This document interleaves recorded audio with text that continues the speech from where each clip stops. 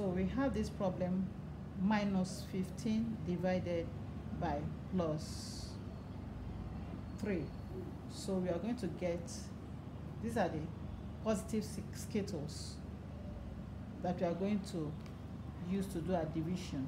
So let's get our quantity minus 15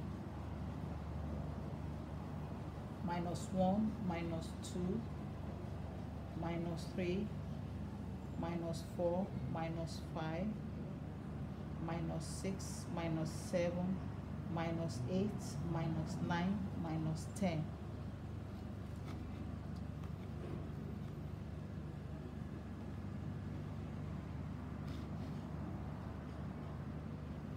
minus 11 minus 12 minus 13 minus 14 minus 15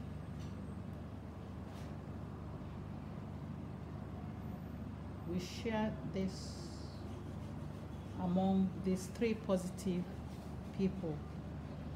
So let's go ahead and do the sharing.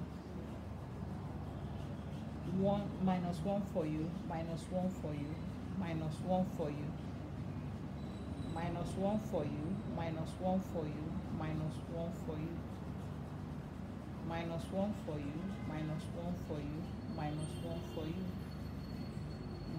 1 for you, minus 1 for you, minus 1 for you, minus 1 for you, minus 1 for you, minus 1 for you.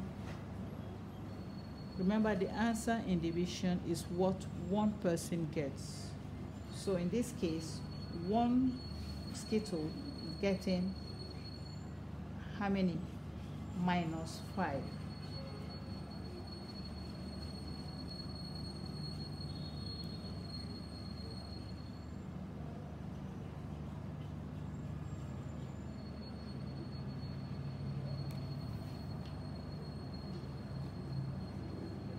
So minus 15 divided by plus 3 equals minus 5 you can go ahead and write problems like that.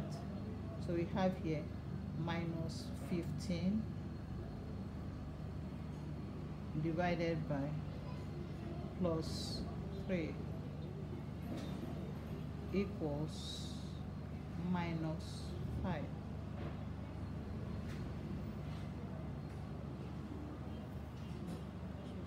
so this is what you have done.